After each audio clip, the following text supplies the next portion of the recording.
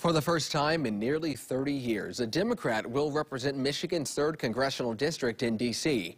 Hillary Scholten is the projected winner in that race. She is up by 52% over John Gibbs, who was at 44%. Gibbs has not conceded the race. His team told us last night that he would not make a statement until later today. Hillary Scholten will speak at noon today.